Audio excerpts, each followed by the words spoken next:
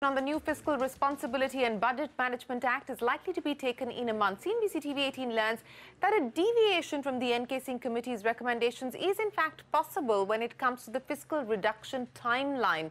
Sapna joins us now with the details. Sapna, the government might opt for perhaps a calibrated reduction, so it may differ in the glide path that was suggested by the NK Singh Committee.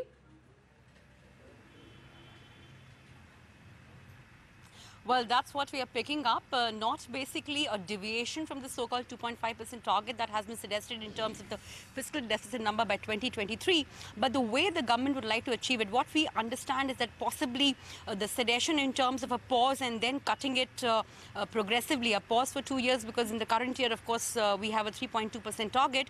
Uh, pausing it for the next two years may not be on the cards, and then cutting it, that may not be on the cards. So what may actually happen is that FY19 may actually see the fiscal deficit target target at 3%. And this is as per Finance Minister's commitment in the budget speech uh, way back in February itself. So even if you start at 3% from FY19, you have time till 2023 to reduce the fiscal deficit number to 2.5%. And that is e easily achievable. Uh, you know, uh, practically on, on uh, every year, the government has been reducing the deficit by a half percent within one financial year.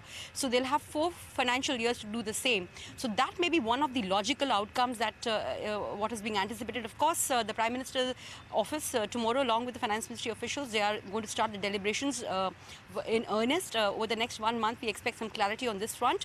the revised law may be tabled in the Parliament in the winter session. And one thing which will be also equally critical is it's not just the fiscal deficit glide path. That may be probably one of the easier issues to handle for the government.